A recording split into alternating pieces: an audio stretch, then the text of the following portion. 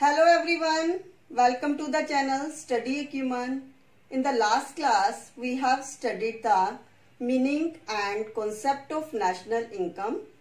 Today, we will discuss on the topic of measurement of national income. In every country, national income can be measured through three methods. First one is product method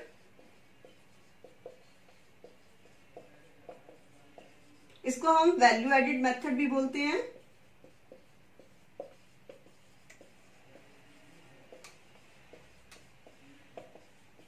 Second one is income method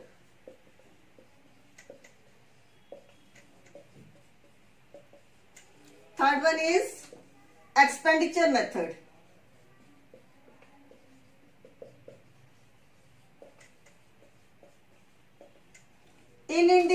Central Statistical Organization have given the three methods to measure the national income. First method is product method or value added method. Product method is that method which measure the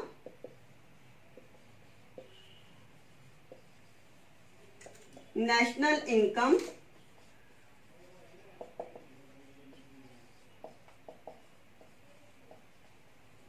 in terms of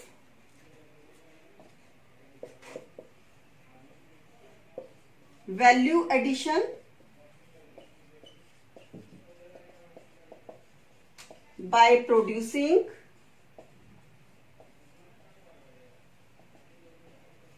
enterprises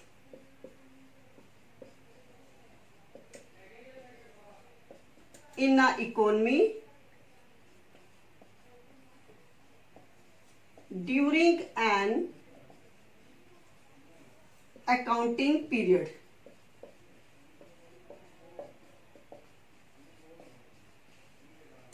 देखिए there are two main point value addition and producing enterprises तो ये दो main point है। Value addition क्या होता है?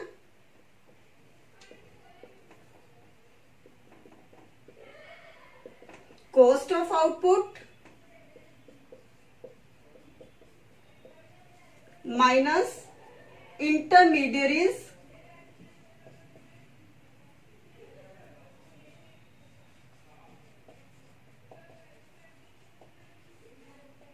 cost or producing enterprises there are mainly three types of producing enterprises first one is primary sector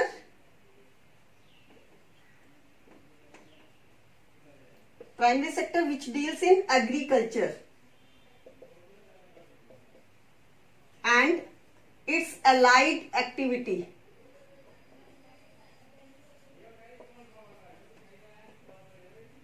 like fishing, mining,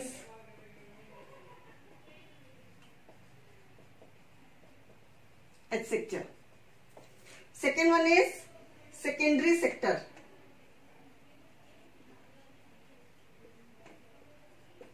Which deals in manufacturing.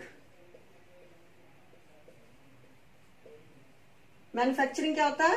Conversion of raw material into a finish goods जैसे हम cotton से क्या बनाते हैं? Clothes cotton converts into clothes third one is tertiary sector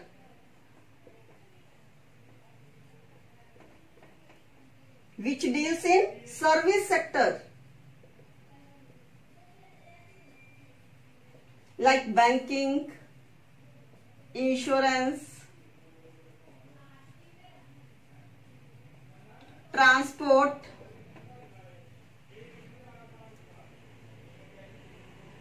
इस sector अब हम detail में वैल्यू एडिशन को पढ़ेंगे.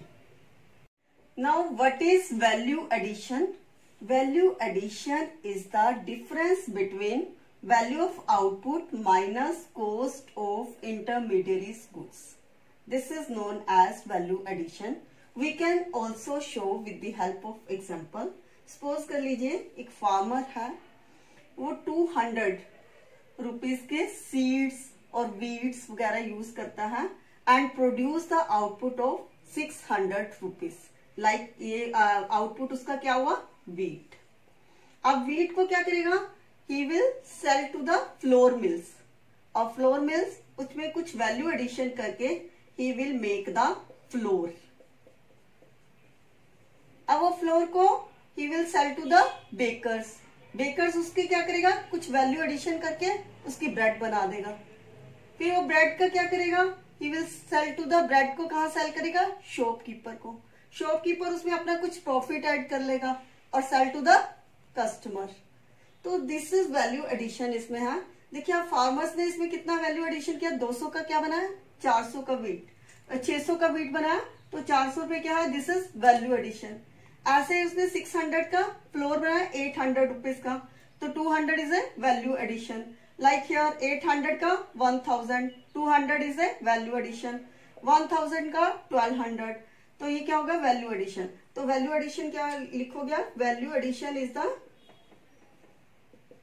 between value of output minus cost of intermediate goods it is one thousand तो दिस इज़ वैल्यू एडिशन अब value of output किसको बोलते हैं? सेल को. Value of output is equal to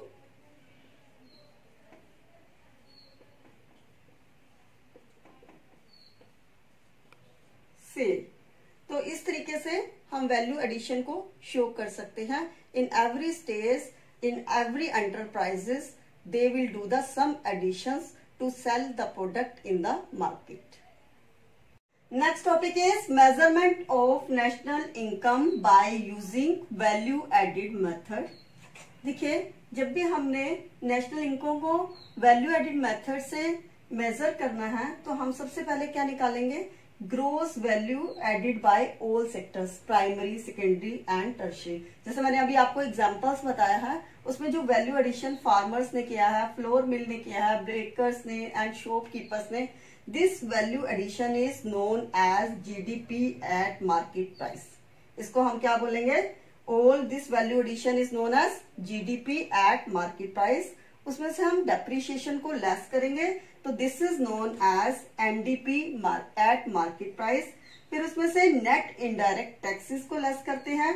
This is known as NDP at factor cost plus net income from abroad is equal to N N P at factor cost जो हम national income की बात करते हैं, हम बात करते हैं N N P at factor cost so this is the formula to measure the national income through value added method next topic is precaution regarding product method और value added method whenever we are calculating the national income through value added method we should take some precautions.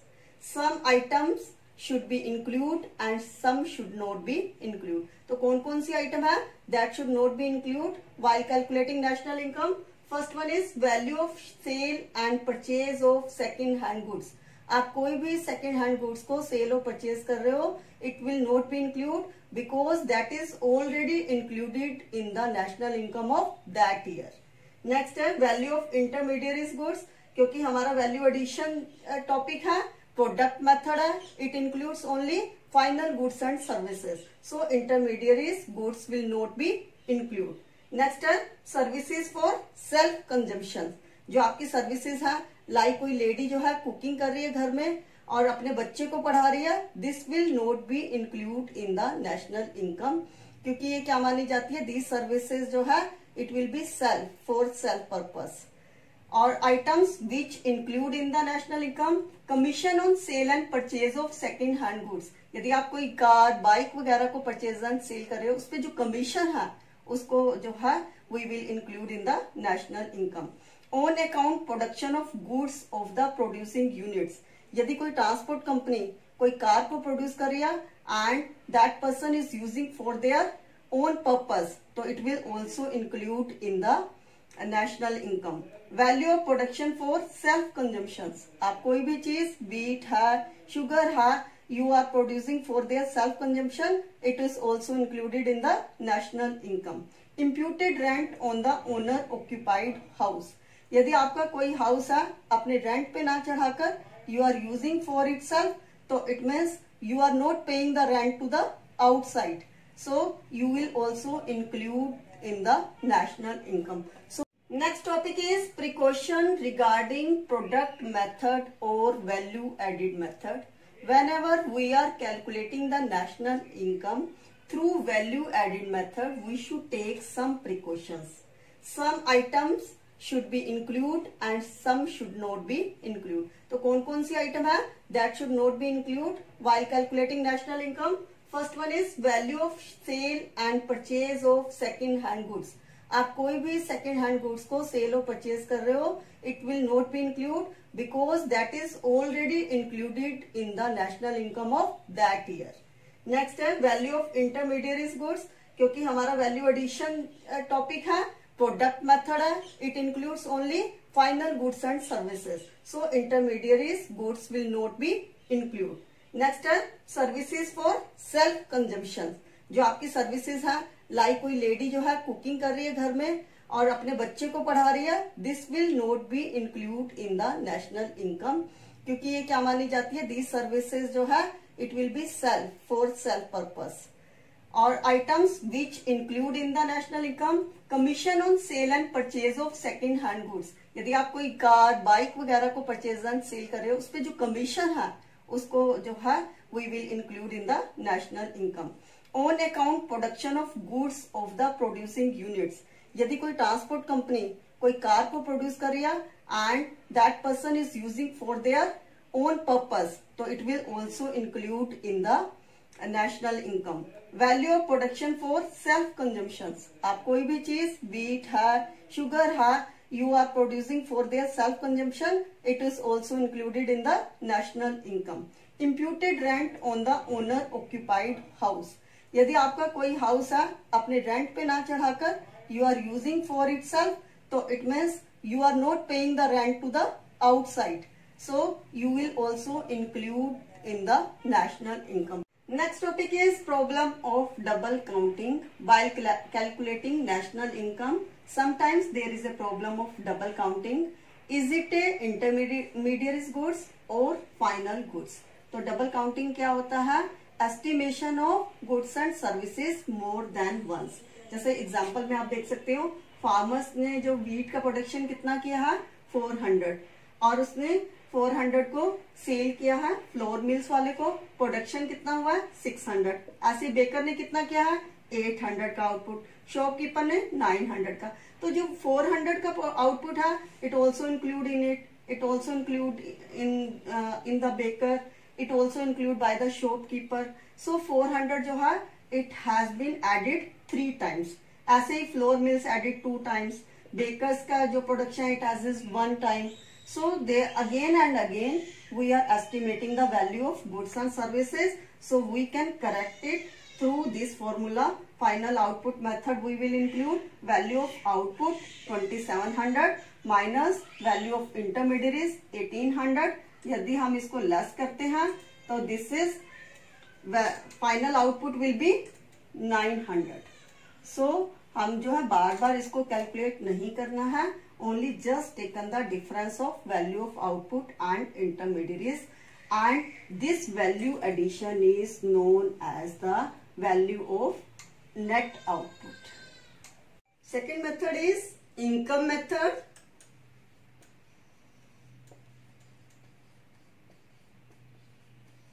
As we know, household are the owners of factor of productions and they provide the factor of production to the producing sector and get the payment in the form of rent, wages, interest and profit. Land, labor, capital and entrepreneur. This is known as factor of production. These factor of production will be provided by the household sector to the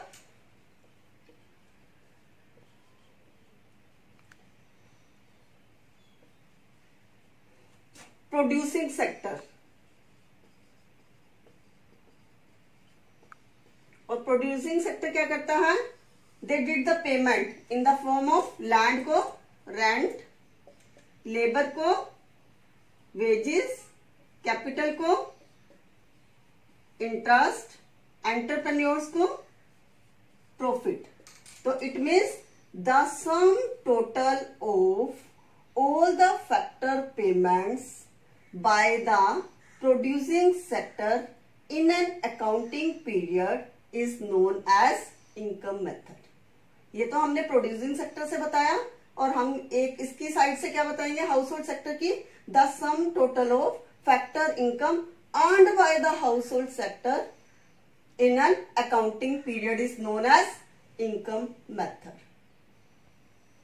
next topic is classification of factor incomes factor incomes को we can classified into three parts compensation of employees, operating surplus and mixed income compensation of employees क्या है? जो employees provide the services to the employers and get the payment in the form of wages payment in kind employees contribution to society pension on retirement ये क्या होते हैं?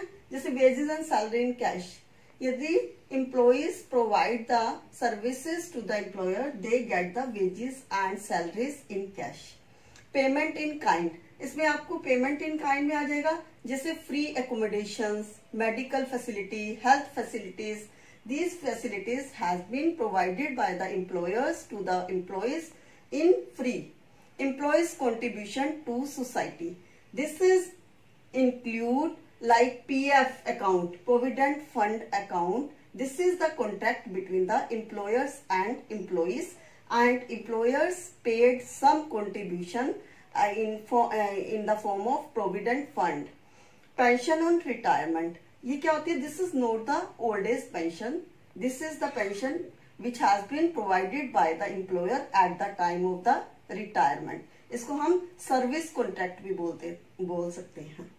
Second one is operating surplus operating surplus include rent interest and profit ये जितने भी आ, हम कोई भी चीज़ रेंट रेंट पे लेते हैं this is known as rent यदि हम कोई पेमेंट इंटरेस्ट पे लेते हैं this is known as interest profit profit में हम क्या क्या इंक्लूड करते हैं? डिविडेंड जो कंपनी जो है जो कंपनी को प्रॉफिट होता है this is known as dividend corporate profit tax क्या होता है? जो प्रॉफिट का पार्ट हम टैक्स के रूप में जो है गवर्नमेंट को देते हैं this is known as corporate profit tax undistributed profit this is the part of the profit which is not distributed among the shareholders and again retain in the company it is known as undistribute तो ये भी हमारी factor income का part होता है। Third one is mixed income इसमें क्या होता है? मैंने आपको पहले भी बताया था, जितने भी एम्प्लॉयज़ होते हैं, वो पेमेंट हर पेमेंट जो है in kind of money form में नहीं होती। हम क्या होते हैं, कुछ पेमेंट अपने सेल्फ एम्प्लॉयड रिसोर्सेज को भी देते हैं। Like own land own labour own capital own entrepreneurship हम ये मार्केट से नहीं हायर करते। ये हमारी अपनी ही होती है। हम अपनी लैंड पे ही काम कर रहे हैं। अपने ही घर में कुकिंग का काम कर रहे हैं। अपनी ही। तो हम इन सारों को इनकम को हम क्या बोलते हैं? मिक्स्ड इनकम इनकम क्या है? It the total of all the land labour capital and entrepreneurship income is known as the mixed income so this is the classification of factor income ये जो हमारे जितने भी हमने क्लासिफिकेशन किया है, इनका टोटल को हम क्या बोलते हैं? एनडीपी एट फैक्टर कोस्ट ये सारा का सारा एनडीपी एट फैक्टर कोस्ट मैंने आपको पहले भी बताया था नेशनल इनकम को हम किस पे मेजर करते हैं? एनएनपी एट फैक्टर कोस्ट तो हमने एनडीपी एट फैक्टर कोस्ट में यदि हम इनकम फ्रॉम अब्रोड को प्लस कर देते हैं तो हमारे पास क्या आ जाती है? एनएनपी एंड फैक्टर कोस्ट जिसको हम क्या बोलते हैं? नेशनल इनकम हमने मेज़रमेंट क्या करना है? Measurement of national income through income method तो हम इनकम मेथड से क्या करेंगे? ये जो हमारी एनडीपी फैक्टर कॉस्ट है इसको हम डोमेस्टिक इनकम भी बोलते हैं।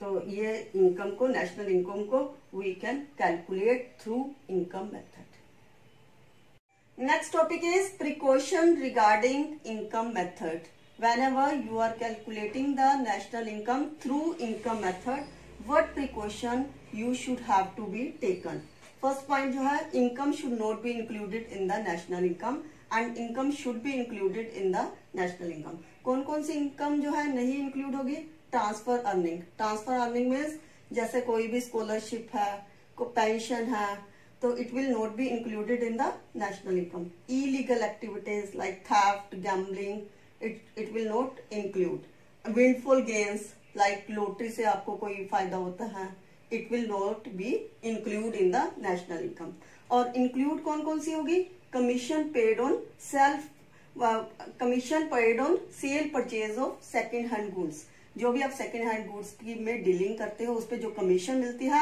it will be include brokerage आप आपस में किसी दो पर्सन का कॉन्टेक्ट कराते हो और you will get the brokerage it will also include in the national income imputed rent imputed rent क्या होता है? जो अपने रिसोर्सिस को, अपनी लैंड को, अपने अपनी वेजेस को, ये इंक्लूड होती है. This is known as imputed rent इसको अलोंग विद रेंट जो है it will also include in the national income production for self consumption आप कोई चीज़ अपने लिए प्रोड्यूस करते हो लाइक like कार आप यूज़ कर लेते हो तो it is also include in the national income corporate tax, dividend, undistributed profit.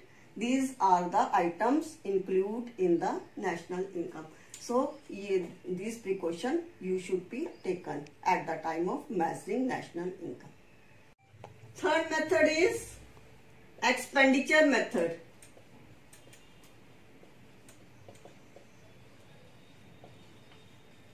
According to this method, national income is measured in terms of expenditure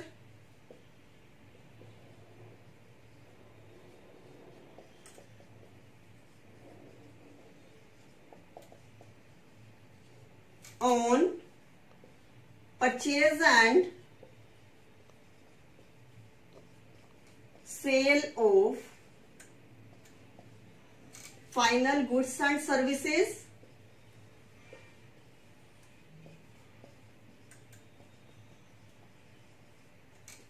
in the economy during an accounting period.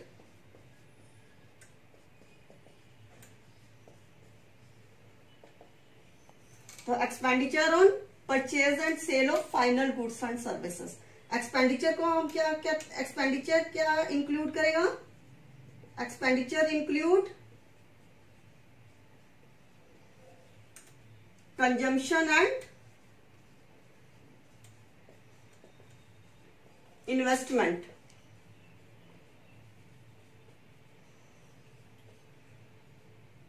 तो इसलिए इसको हम consumption and investment method भी कहते हैं।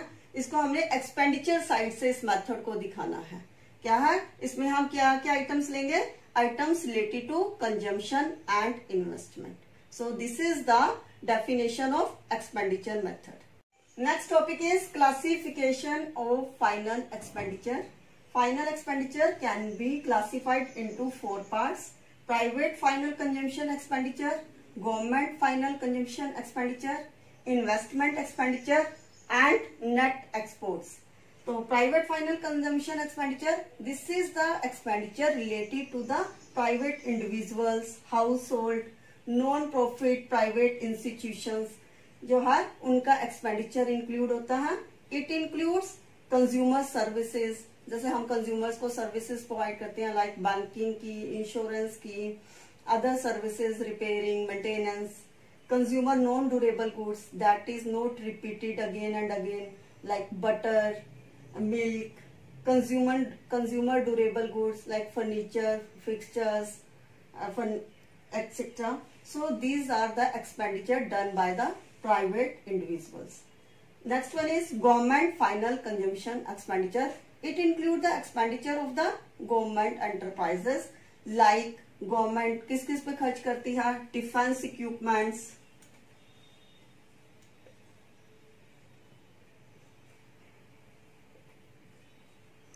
insurance banking other than other expenditure So this is include as government final consumption expenditure.